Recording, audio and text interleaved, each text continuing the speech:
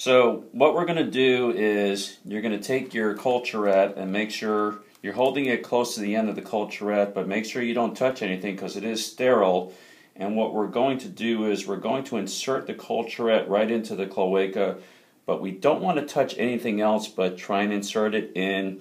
Tortoises usually don't mind doing this, and you want to aim for the opening of the cloaca. Sometimes they'll move a little bit, but once you're ready, you're going to right in, give a good gentle swirl around, and we got a nice good sample. Pull it out, and that's all we're going to do. Then you take your red top tube without touching anything, take the top off, insert it in without touching.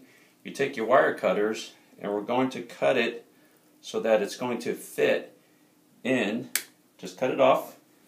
Take your red top tube and the top, and that's all it takes to do a swab of a tortoise. That's it.